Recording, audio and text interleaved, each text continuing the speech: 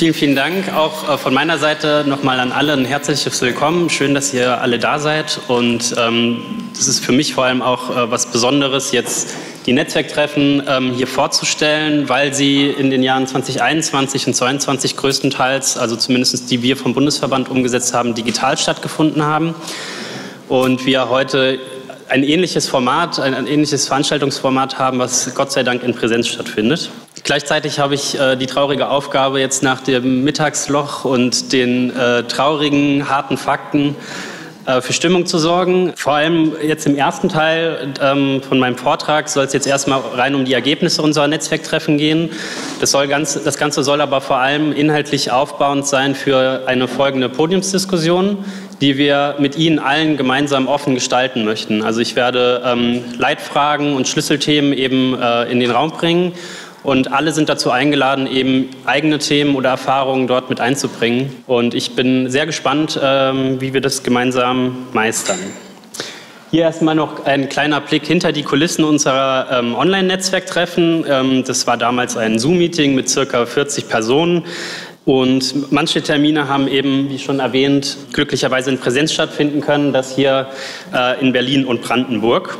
Die Ziele aller unserer Netzwerktreffen, egal ob Landesverband oder Bundesverband, digital oder in Präsenz, waren die gleichen. Wir haben mit Hilfe von externen Beiträgen über aktuelle Forschungsergebnisse zum Zustand der Wälder und den Zusammenhängen mit dem Klimawandel informiert. Beispielsweise war 2021 das Rheinland-Pfälzische Kompetenzzentrum für Klimawandelfolgen äh, mit an Bord und war so freundlich, uns einen eindrucksvollen äh, Vortrag zu halten. Äh, ich habe Ihnen hier einmal noch ähm, die dort stattgefundene ähm, Baumscheibe mitgebracht, die die Warming Stripes äh, mal auf eine andere Art äh, darstellt, also eben den ähm, Temperaturanstieg seit 1880 bis 2018 auf der Nordhalbkugel. Ähm, wir hatten sie jetzt schon in den Vorträgen davor entweder als ähm, trockene Kurven oder eben auch in diesen Warming Stripes gesehen. Ähm, hier mal eine ganz erfrischende Darstellung als Baumscheibe. Des Weiteren hat unsere geschätzte Kollegin Ulrike Schut ähm, vom Bundesverband auch heute hier anwesend und äh, später auch auf dem Podium bestimmt mit dabei, äh, die Teilnehmenden viel, über die vielseitigen und bedeutsamen Potenziale von BNE im Wald, ja, die, ihnen diese Potenziale nahegelegt. Außerdem ging Ihr Vortrag auf die kategoriale äh, Bildung nach Wolfgang Klafki und weitere Aspekte eines zeitgemäßen Bildungsverständnisses ein. Ich ähm, empfehle allen, Ihnen diesen Vortrag nochmal auch äh, als Online-Aufzeichnung anzuschauen. Wie gesagt, mein erster Teil des Vortrages ist weniger inhaltlich, aber das als kleiner Teaser. Um unserem vollständigen Projektnamen Bildungsnetzwerk Wald und Klima noch mehr gerecht zu werden, zielten die Netzwerktreffen auf einen intensiven Austausch unter den Teilnehmenden sowie deren Vernetzung ab auch wie heute natürlich. Äh, angeleitete Gruppenarbeiten, wie beispielsweise ein sogenanntes Wunschcafé, ermöglichten uns, die Stimmen und Argumente sowie Erfahrungen der Teilnehmenden zu bündeln, am Ende auch aufzubereiten. Auf die wichtigsten Ergebnisse von diesem Programmpunkt, also des Wunschcafés, gehe ich jetzt gleich auch noch mal näher ein, weil sie eben auch Grundlage sein sollen für unser Podium. Mehrfach äh, beworben heute wurde schon der Bildungsserver Wald. Ähm, hier möchte ich einmal live mit Ihnen die Seite besuchen, denn ähm, uns war vor allem wichtig, ähm, auch während des gesamten Projektes über die Vielzahl an Bildungsangeboten ähm, passend zu unseren Themen auch von anderen Institutionen zu informieren. Und deswegen haben wir eben online, das finden Sie hier aktuell im Reiter, die Klimakönner und Hilfestellung in der Waldklimabildung unter Projekte, Materialien und mehr. Das war sozusagen die erste Version des Online- äh, Markt der Möglichkeiten. Und wie Sie hier sehen, gibt es Gott sei Dank eine Vielzahl an Institutionen mit entweder Internetseiten zur Information, kostenlosen Bildungsmaterialien oder auch buchbaren Programmen. Ähm, einige hiervon sind auch heute anwesend, unter anderem unser Projektpartner, die Universität Köln, mit dem digitalen ähm, Projekt Unser Waldklima. Das können Sie sich heute auf dem Markt der Möglichkeiten auch noch mal detaillierter anschauen. Sie sehen, das Ganze ist eingeteilt in bundesweite Angebote und Anbieter. Und wenn wir jetzt hier ankommen, sehen Sie eben nochmal eine bundeslandspezifische Auflistung, wo wir mit Steckbriefen arbeiten, die Sie ganz einfach als PDF öffnen können und dann eben hier die einzelnen Institutionen inklusive der Kontaktdaten und auch der beispielhaften Angebote eben ähm, sich durchstöbern können. Das ganze Angebot richtet sich in erster Linie an äh, Bildungseinrichtungen, PädagogInnen, die eben sich zu unseren ähm, Themen schlauer machen wollen, äh, beziehungsweise da eben halt auch konkrete Hilfestellungen äh, sich wünschen. Ein wichtiger Hinweis, das Ganze ähm, soll jetzt keinen Anspruch der Vollständigkeit haben. Haben Sie also ähm, er gute Ergänzungen, dann kommen Sie gerne auf uns zu und wir werden eben diese Angebote da auch noch mit auflisten. Im Jahr 2022, also in der zweiten Runde unserer Netzwerktreffen, haben wir diesen Markt der Möglichkeiten ähm, nochmal erweitert. Denn ein wichtiger Teil unserer Ergebnisse von den Gruppenarbeiten war eben, dass es ähm, ja, wie so häufig an Kapazitäten mangelt, vor allem auch an Geld. Und wir wollten ähm, Bildungseinrichtungen Wege aufzeigen, wie man eben an zusätzliche Gelder kommen kann für mehr äh, Natur- und Klimabildung. Dabei haben wir ähm, eben erläutert, wie wir eine geeignete Geldquelle für unser Vorhaben finden können, wie wir in der Beantragung vorgehen und dass es auch ähm, ja, seitens der einzelnen Angebote auch gute ähm, Beratungsservices oder auch Coaching-Angebote gibt. Das Ganze wurde dann nochmal ähm, mit regionalen Erfolgsbeispielen ähm, unterfüttert. Und auf der Internetseite, eben wo wir eben waren, äh, da finden Sie eben auch nochmal da die Auflistung. Wir sind noch nicht ganz fertig mit allen Bundesländern, aber auch dort gibt es wieder die Aufteilung zwischen bundesweiten Förderprogrammen oder auch äh, Stiftungen und auch Crowdfunding-Plattformen. Also die Möglichkeiten sind da, ähm, nur halt in der Fläche noch nicht bekannt und sollten mehr genutzt werden. Und wenn dann auch die Nachfrage von solchen Angeboten steigt, das äh, hat natürlich auch seinen positiven Einfluss. Des Weiteren haben wir natürlich auch unsere Netzwerktreffen zur Eigenwerbung genutzt und äh, unsere Klimakönner-Angebote den Teilnehmenden nahegelegt. Und es gab genauso wie die wissenschaftlichen Vorträge auch Vorträge und Impulse von regionalen Akteurinnen. Ähm, hier ein paar beispielhaft aufgelistet, ähm, teilweise auch heute hier vertreten. Die Videoaufnahmen und ähm, ja, ausführlicheren Ergebnisse unserer Netzwerktreffen finden Sie eben auch auf dem Bildungsserver Wald. Ich lade Sie hiermit auf jeden Fall nochmal ein, das nachzuholen und sich die Vorträge anzuschauen. Jetzt komme ich zu dem für heute inhaltlich relevanteren Teil. Die umgesetzten, ja, also wir haben es Wunschcafé genannt, äh, es lehnte sich an an die Methode World Café, wo eben diese drei Leitfragen ähm, im Raum standen und äh, Gruppen einzeln diese Leitfragen bearbeitet haben und mit den Ergebnissen der anderen Gruppen weitergearbeitet haben, sodass wir eben eine große Fülle an, an Argumenten und Meldungen eben auch hatten. Und genauso wollen wir auch heute vorgehen. Die Ergebnisse aus diesem World Café wurden ähm, in aufbereiteter Form, also eine DIN A4-Seite Text zusammengefasst und an die ähm, jeweiligen Landesministerien für Bildung bzw. Umwelt auch weitergeleitet im Zuge der Einladung zu unseren diesjährigen Netzwerktreffen mit Bitte um Stellungnahme und einem ähnlichen Vorgehen möchten wir eben nach dieser Veranstaltung auch also das Ganze wiederholen und ähm, ja, sozusagen einen Appell aussprechen, einen offenen Brief oder ein Statement veröffentlichen. Und das wäre für Sie eben auch die Möglichkeit, heute Ihre Stimme bei uns abzugeben und wir leiten die dann gerne an äh, zuständige Entscheidungsträger dann auch weiter. Also Hauptthema war damals als auch heute die strukturelle Verankerung unserer Themen im nationalen Bildungsalltag. Und die erste Leitfrage eben, worin besteht denn die Notwendigkeit einer solchen Verankerung? Wir alle waren und sind uns heute hier auch einig, die Klimakatastrophe ist da, die Folgen stehen vor der Haustür und es ist allerhöchste Zeit zu handeln. Dafür brauchen wir eine umfassende Bewusstseinsbildung, vor allem ähm, ja, nicht nur bei privilegierten Gruppen oder ähm, den Älteren oder Jüngeren, sondern in allen Alters- und Gesellschaftsgruppen. Nur so ist eben eine gesellschaftliche Transformation möglich.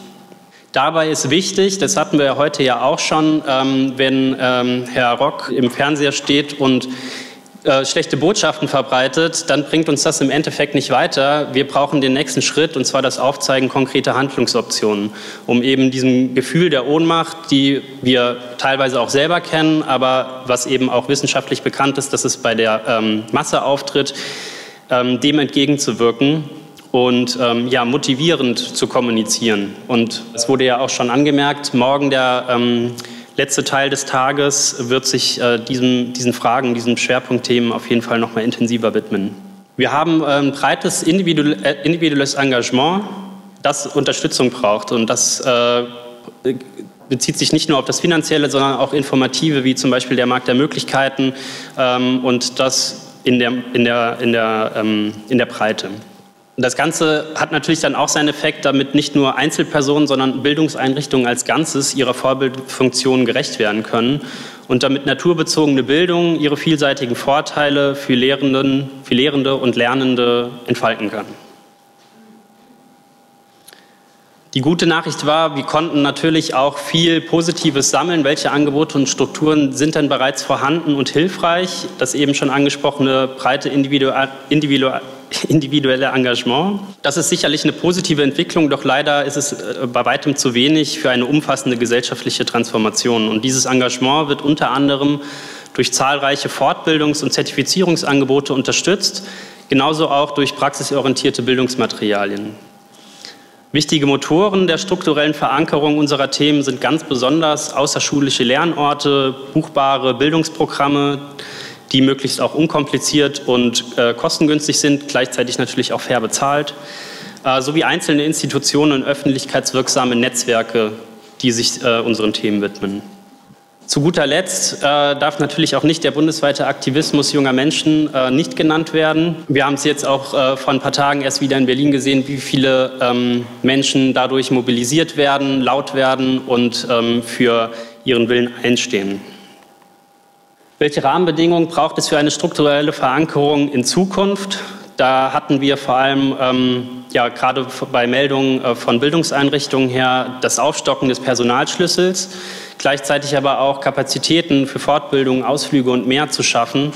Ähm, ein Positivbeispiel, was dort dann genannt wurde, es gibt in Thüringen einen Fördertopf, wo sich eben Schulen mit Schulklassen darauf bewerben können, dass solche Ausflüge finanziert werden. Also es gibt solche Angebote im Einzelnen, sie sind aber auch nicht jedem, auch nicht in dem einzelnen Bundesland bekannt. Und auch da braucht es einfach eine klare ähm, Information, eine Koordinierungsstelle im jeweiligen Bundesland, wo sich Bildungseinrichtungen dran wenden können, um diese Information zu erhalten. Für uns im Klimakönner-Projekt war ja ein wichtiger neuer Schwerpunkt, dass wir unsere Fortbildungsangebote eben nicht nur an sowieso schon interessierte Personen äh, weitergeben möchten, sondern die fachliche Qualifizierung von pädagogischem Personal gleich ab der Ausbildung an. Und die Erfahrungen, die wir gemacht haben an den berufsbildenden Schulen, waren durchweg positiv. Also äh, Frau Schnurfall hat ja auch das Beispiel genannt von, der, von dem Schüler, der eigentlich überhaupt keinen Bock hatte, rauszugehen, aber dann einfach ähm, ja, geflasht war von den positiven Erfahrungen, die er gemacht hat. Und das Ganze sogar weitergeben möchte. Gleichzeitig halte ich auch für sehr wichtig, dass die direkte Vernetzung ähm, nicht nur zwischen außerschulischen Angeboten, sondern auch mit Bildungseinrichtungen direkt ähm, intensiviert werden. Ein sehr gutes Beispiel dafür ist das SDW Waldcoaching-Projekt, ähm, was unter anderem ein Beratungsangebot für Bildungseinrichtungen ist, um eben solche Angebote bekannter und greifbarer zu machen. Ähm, hochwertige Bildungsmaterialien müssen nicht nur entwickelt werden, sondern eben auch verbreitet und bekannt gemacht werden. Ähm, wir können noch so schöne Broschüren herstellen, wenn sie am Ende nicht in der Praxis landen, erfüllen sie nicht ihren Zweck.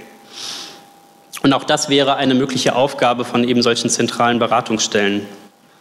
Ebenso gewünscht wurde sich neben dem Ausbau von äh, den direkten Kapazitäten auch ein Abbau von Bürokratie und finanziellen Anreizen, speziell wenn es um ähm, zum Beispiel Bauma, ähm, Baum, Umbaumaßnahmen ging, von ähm, äh, beispielsweise dem äh, Gelände der Kita. Ähm, aber auch da muss man direkt an die Träger herantreten, äh, damit sowas überhaupt erst bewilligt oder auch ähm, ja, verfolgt wird. Und ähm, da bräuchte es auf jeden Fall auch noch mehr Schritte.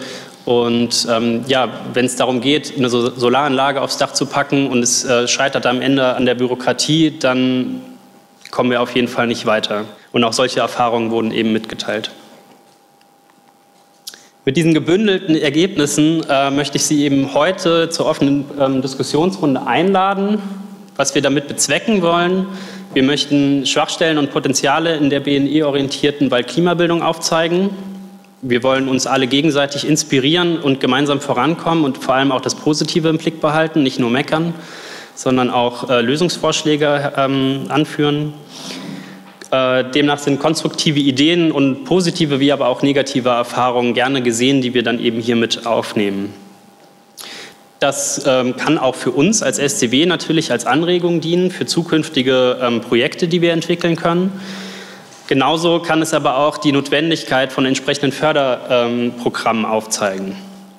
Genau, und meine Einladung soll sein, dass eben die Ergebnisse zusammengeführt mit denen der Netzwerktreffen ähm, von uns als SDW, dass wir unsere Stimme nutzen und an die Entscheidungsträger weitertragen und dort eben unser ja, Netzwerk nicht nur hier heute untereinander nutzen, sondern ähm, eben halt auch in Kontakt treten. Sie haben, ich zeige diese Folie jetzt einmal kurz, Sie haben diese Schlüsselthemen und Leitfragen auch in Ihren Tagungsmappen in dem Magazin, was Sie ausgehändigt bekommen haben. Wenn Sie zur entsprechenden Seite blättern, dann können Sie das während der Diskussionsrunde eben auch sich selbst nochmal vor Augen führen. Als ich äh, dazu recherchiert habe, ähm, also sowieso im ganzen Verlauf der, der Netzwerktreffen, aber auch für heute, ähm, kommt man natürlich nicht darüber hinweg, einzusehen, es gibt bereits sehr viel. Ähm, es gibt vor allem viele Ziele, aber ähm, wir wollen uns heute auch darüber Gedanken machen, wo diese Ziele bisher hingeführt haben und wo wir denn aktuell in der Bildung stehen, was Nachhaltigkeit und Umweltthemen betrifft. Genauso finde ich es wichtig, um eben auch das Positive im Blick zu behalten, positive Erfahrungen zu nennen und mit anderen zu teilen, auf die man gegebenenfalls zurückgreifen kann. Und genauso entscheidend ist natürlich auch, wenn Sie ähm, für sich selbst aus der Arbeit Hürden und ähm, Probleme uns mitteilen möchten, gegebenenfalls auch mit Verbesserungsvorschlägen, dann wäre ich Ihnen da sehr dankbar.